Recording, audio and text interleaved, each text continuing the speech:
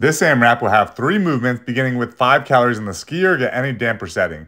After completing the ski erg, you will then transition to 10 heels elevated squats using the platform to elevate your heels. After completing your 10 squats, you'll transition to your third movement, which will be 15 knee tucks. Lie flat on your back and extend your hands above your head with your feet out in front of you. At the same time, bring your hands and your knees towards the midline of your body, crunching together and then extending back open.